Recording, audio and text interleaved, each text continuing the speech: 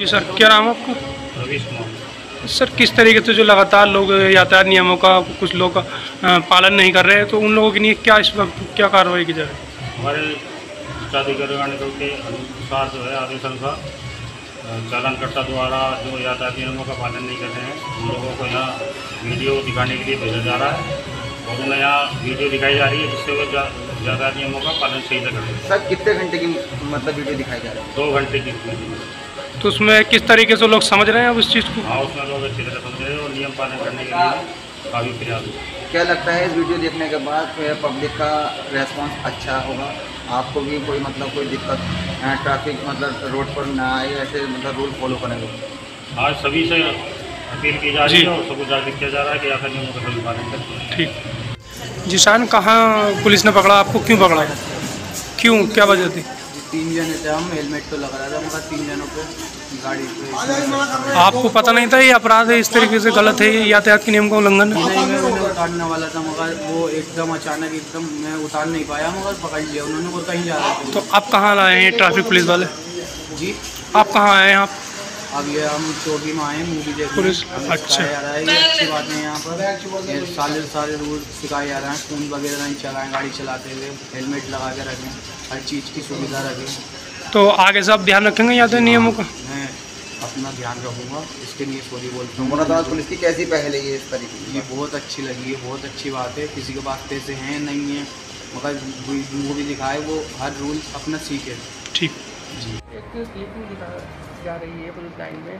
क्या उद्देश्य है? किस तरह की देखिए ये यातायात के नियमों के प्रति लोगों को जागरूक करने की दिशा में ये एक वरिष्ठ पुलिस अधीक्षक महोदय द्वारा ये एक इनिशिएटिव उनके द्वारा लिया गया था जिसमें हम यातायात के नियमों के उल्लंघन करने वालों को प्रथम दृष्टया चालान न करके पहले उनको हम एक मूवी दिखाएँगे और उसके बाद जो है उनका चालान न करके हम उनको एक मूवी दिखाएँ या फिर ट्रैफ़िक के जो है नियमों का पालन न करने वालों का क्या हश्र होता है, क्या अंजाम होता है क्या क्या दुश्वारियाँ आती हैं, ये इस तरह की जो है तमाम क्लिपिंग्स हमारे पास हैं, जो मुख्यालय से भी उपलब्ध कराया गया है। इन क्लिपिंग्स को हम लोगों को दिखा के ये हमारे जागरूकता का एक एक एक प्रकार का हम माध्यम है कि हम लोगों को कैसे जागरूक कर सकते हैं।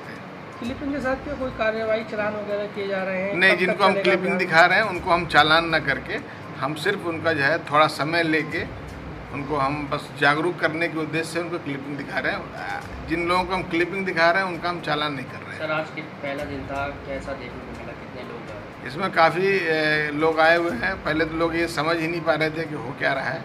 फिर लोगों को काफ़ी एक कंफर्टेबल एटमॉस्फेयर में बैठा के दिखाया जा रहा है। तो लोगों ने काफ़ी इसमें रुचि भी ली है और इसमें ऐसा कहते हुए नज़र आ रहे हैं कि भविष्य में ऐसी गलती कर नहीं करेंगे।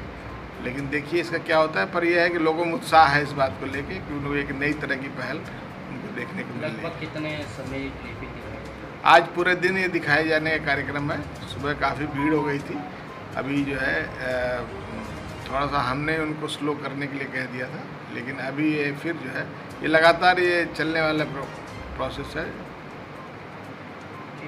क्या नाम है आपका? जी मेरा नाम सुमित है। सुमित क्या हुआ है? क्या कहाँ हुआ आपका चलान? जी मेरा चलान अभी चुराया था पुलिस वालों ने पकड़ा क्योंकि उन्होंने पुलिस वालों ने अच्छा रूल बनाया है तो हमारे पास पैसे नहीं है तो उसमें इसके बाद हमें आपको भेजा जाता है पुलिस थाने पे चौकी पे। वहाँ पर मूवी बनाई गई है एक मिनट की बहुत अच्छी मूवी बनाई है इन्होंने। तो मूवी जो बनाई इन्होंने बहुत अच्छी हमने देखा रूल के बारे में जाना। बहुत सारी बातें उन्होंने हमको बताई कि रूल अगर आप फॉलो नहीं करोगे हेलमेट नहीं पहनोगे तीन दिन सवारी करोगे फ़ोन करो चलाओगे गाड़ी चलाते हुए फ़ोन चलाओगे तो आपका चलान कटना अनिवार्य है आपको दुर्घटना भी हो सकती है। तो मुरादाबाद की पहल आपको मुरादाबाद पुलिस की कैसी पहल लगी आपको? मुरादाबाद की ये सबसे पहले अच्छी पहल है। बहुत मैं इनको काफ़ी अच्छा और रिस्पॉन्स देना चाहूँगा कि इन्होंने बहुत अच्छा कदम उठाया ये गरीब आदमी के लिए खासकर अच्छा कदम है।